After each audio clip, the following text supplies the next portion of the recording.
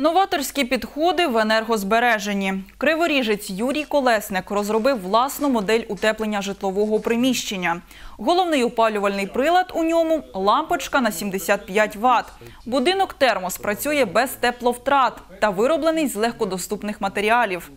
Я применил, опять же, многокамерное термосутепление, которое я применял для утепления на втором этаже полностью. Здесь я немножко э, поигрался с материалами, применил эту целлюлозу для внутреннего утепления. В данном случае зоны отдыха. Но это может быть э, также и рабочая зона. То есть э, смысл не отапливать полностью всю коробку, да, все эти э, тонны камня, кирпича, а утеплить именно непосредственно зону, где находится человек.